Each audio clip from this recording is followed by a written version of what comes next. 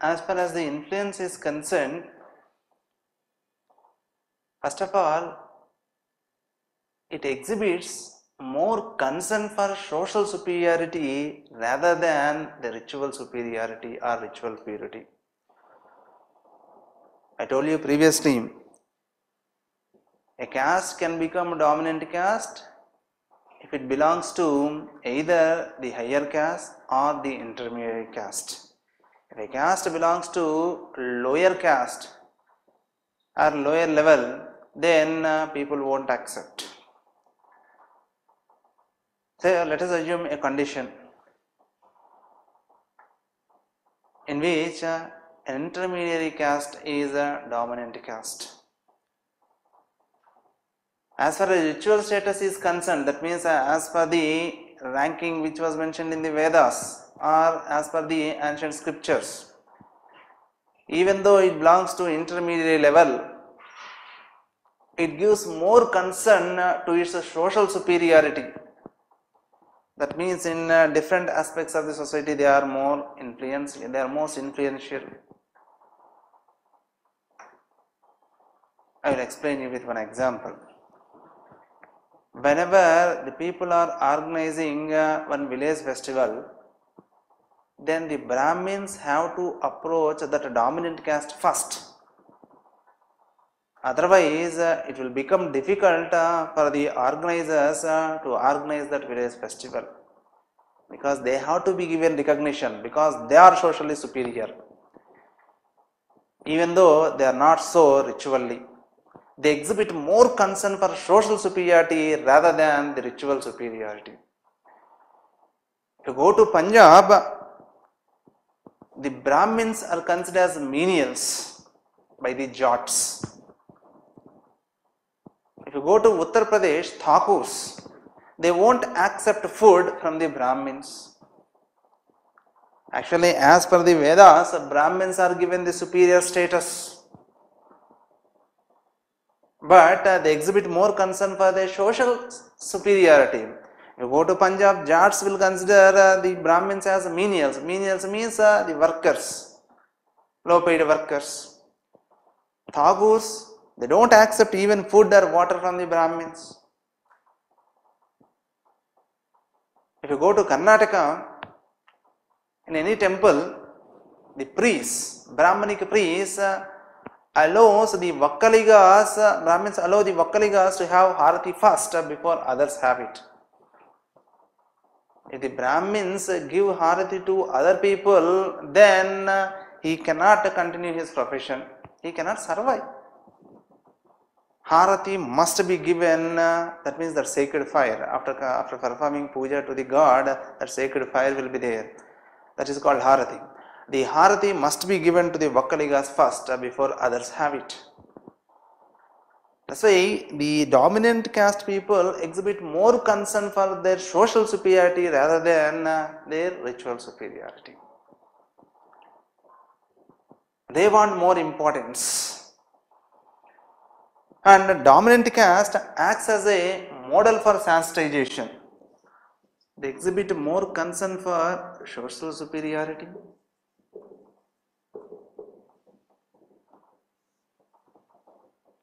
Second one is uh, they act as a model for Sanskritization.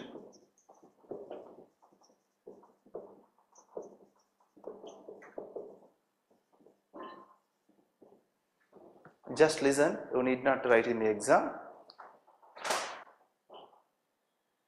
For the cultural change in our society,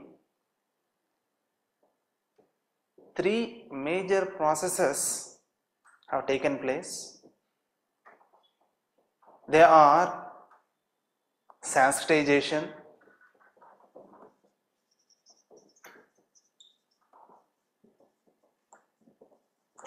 Second one is westernization and the third one is modernization.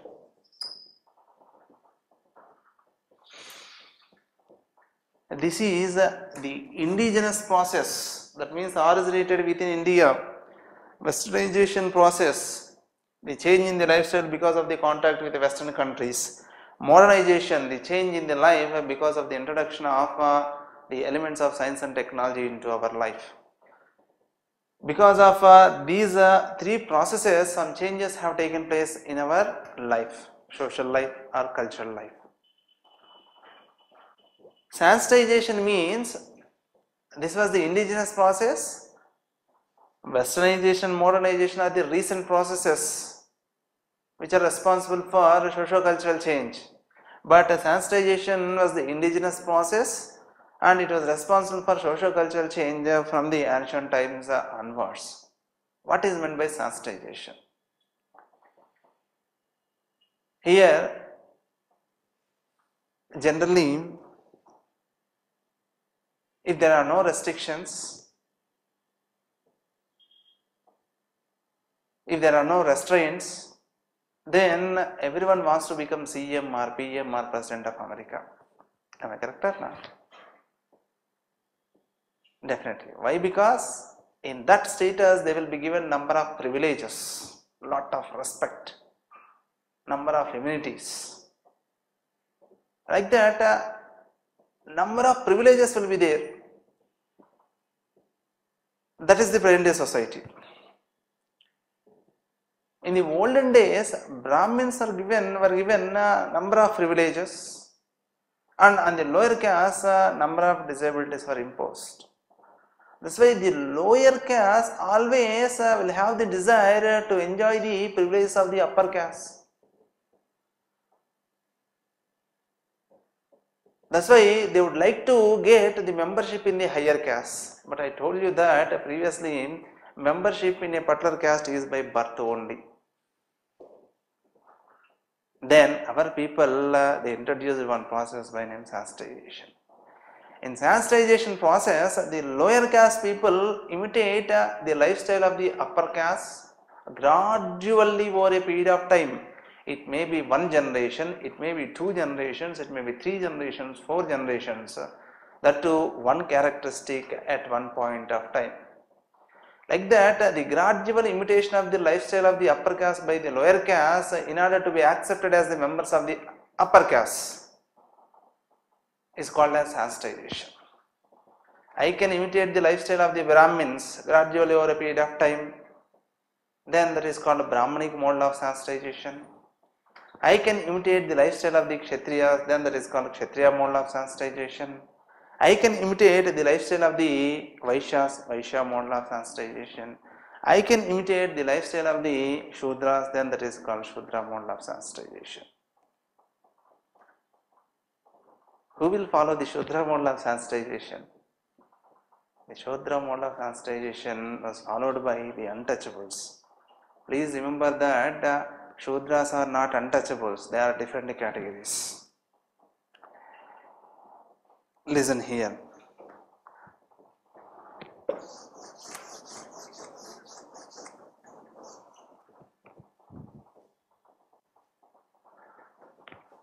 This is only for your understanding, a background information.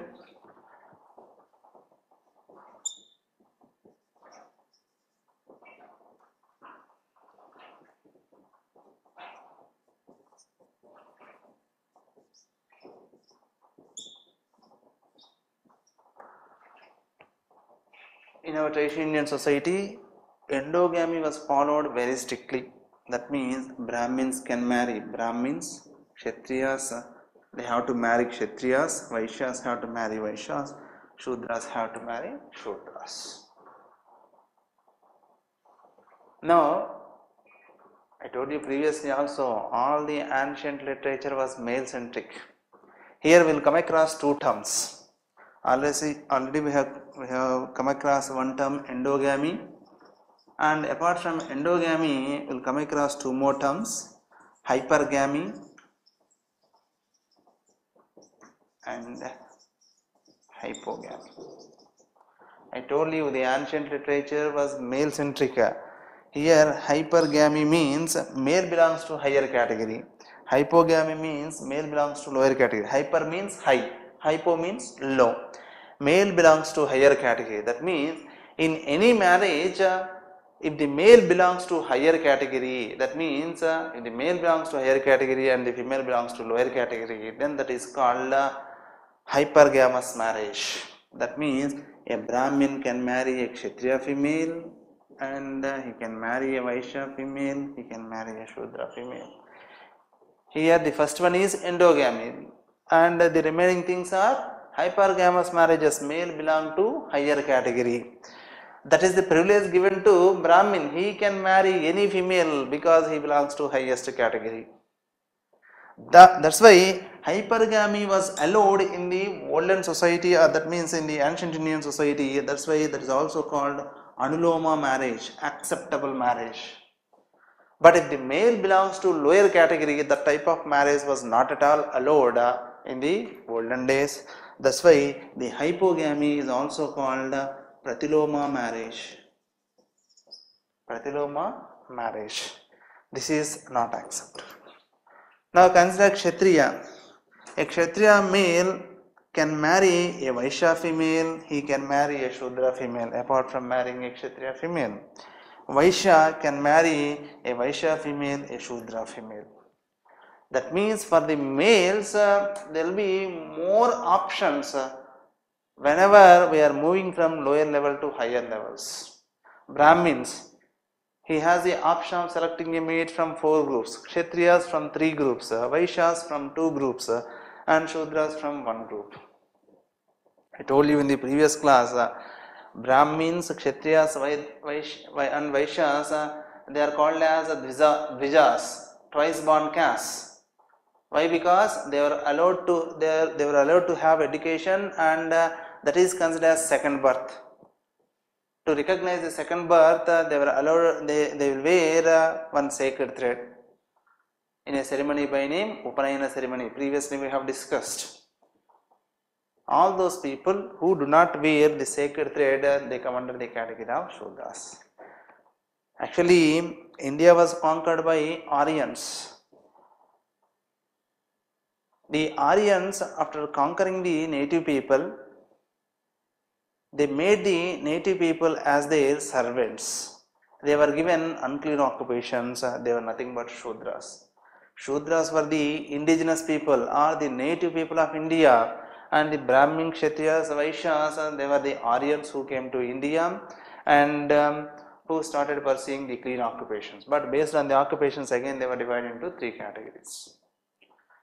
Now, in ancient India, we have three types of marriages endogamous marriage, hypergamous marriage, and hypogamous marriage. Endogamy, there were no restrictions. Hypergamous marriages, they were allowed. Hypogamous marriages were not allowed. If there is any hypogamous marriage, the children born to that hypogamous marriage are not given, they were not given any recognition in the society. They were considered as chandalas. Chandalas means untouchables. That's why the another category is untouchables. The present day SCs, uh, generally scheduled caste, the so-called scheduled caste are considered as uh, the untouchables in the present Indian society and many other castes, Yadavas, Reddis, Chaudharis, all those people come under the category of Shudras only. Definitely, they do not belong to this Brahmin, Kshatriya, Vaishya category. Um, but and at the same time, they are not untouchables. They belong to Shudra category. The children born to this uh, hypogamous marriage are considered as untouchables.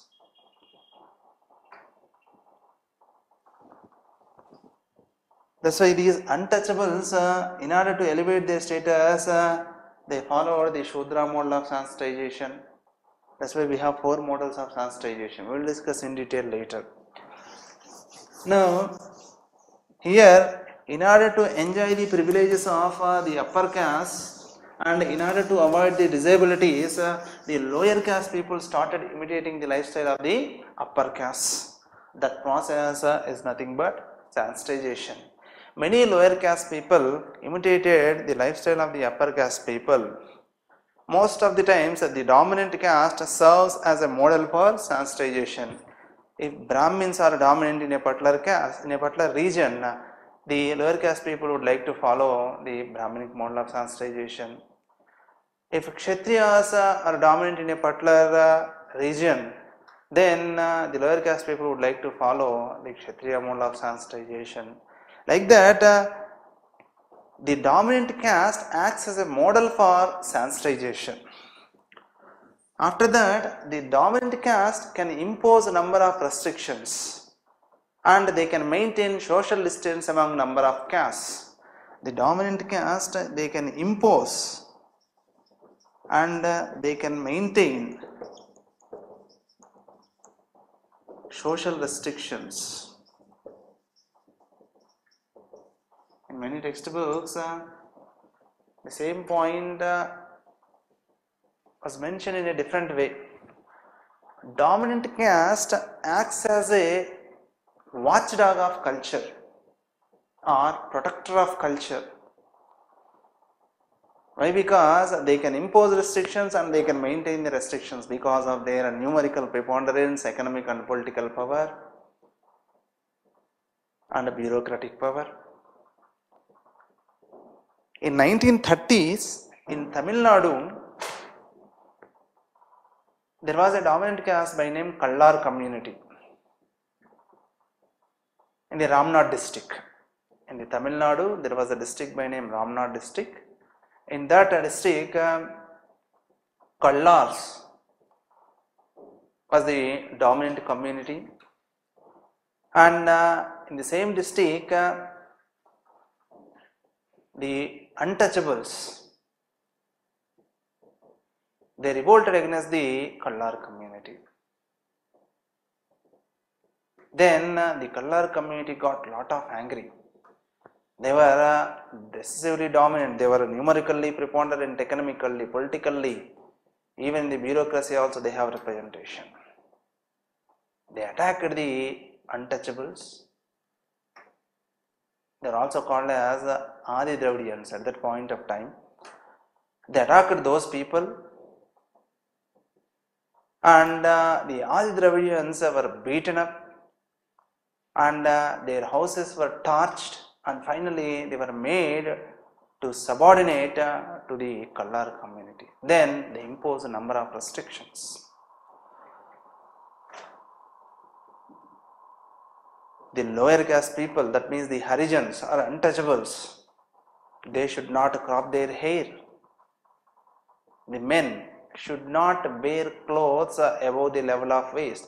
Even uh, the vests and coats should also not be used.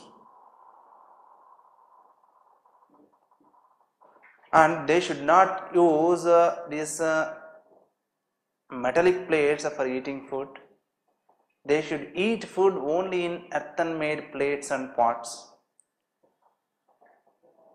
They should use. Females also they should not cover upper part of the body in front of the higher caste. They should not use flowers in their locks. They should not apply sandal paste to their body. They should not wear chappals. Like that, number of restrictions were imposed and they were maintained because of their preponderant numerical economic numerical strength, preponderant economic and political power. They were able to maintain those social restrictions.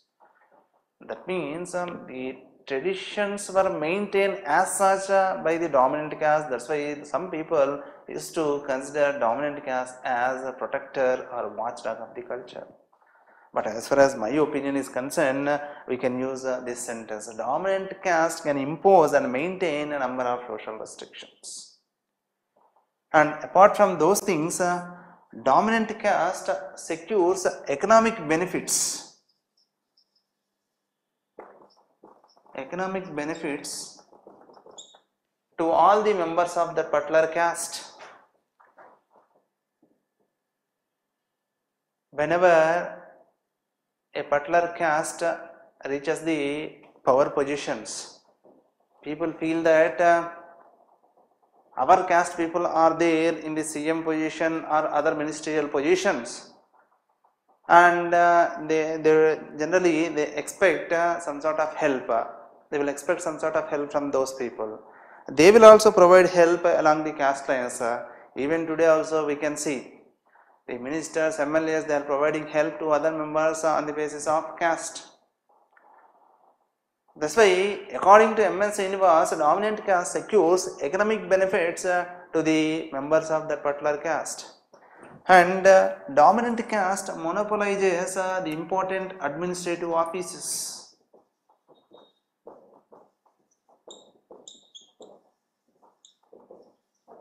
Especially the ward members and uh, the sarpanch these are the important administrative offices.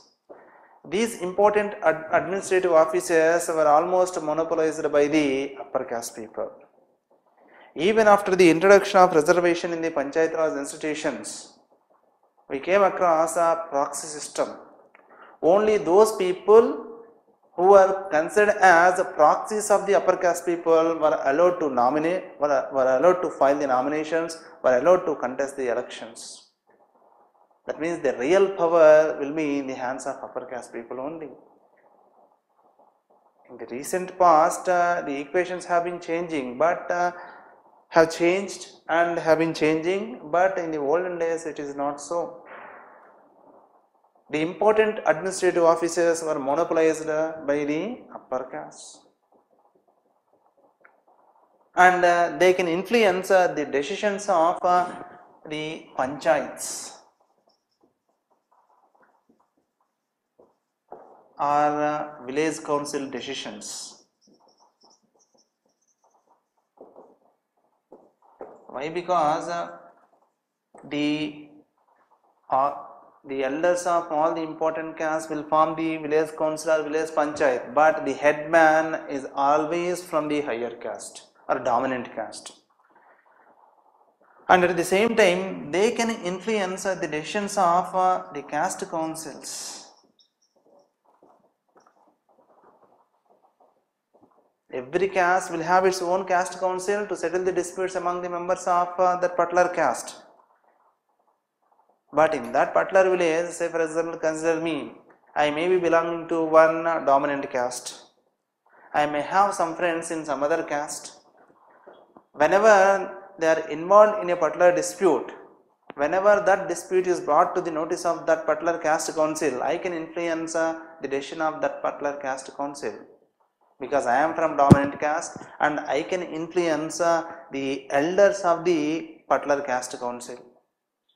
That's why the dominant caste can influence uh, the decisions of village councils or village panchayats and at the same time it can influence the decisions of other caste councils. Apart from those things, uh, the dominant caste people generally in some areas uh, we can come across uh, they tend to pay the lower wages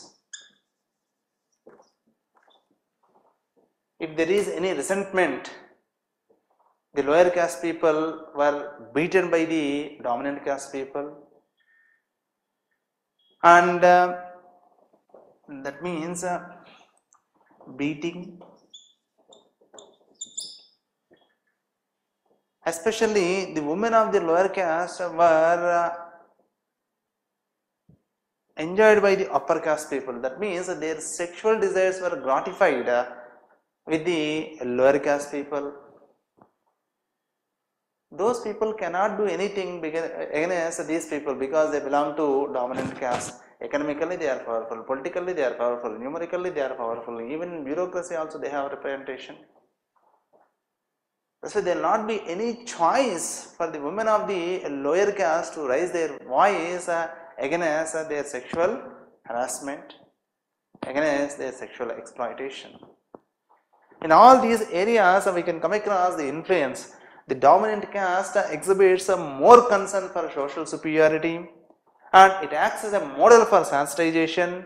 It can impose and maintain uh, the social restrictions it secures economic benefits uh, to its uh, members or followers it monopolizes the important administrative offices, it influences the decisions of uh, the village council or village panchayats and uh, the other caste councils and uh, it tends to pay the lower caste people with uh, low wages and uh, they beat the lower caste people and they gratify their sexual desires with the women of the lower caste people. Apart from these things, um, they patronize the poor. Whenever there is any problem, whenever there is any function, marriage, in times of need, uh, the upper caste people provide a lot of help to the lower caste people also. The people who provide a lot of help, they can be considered as patrons. The biggest patron in a particular village is almost always from the dominant caste. These are the areas of influence of a dominant caste.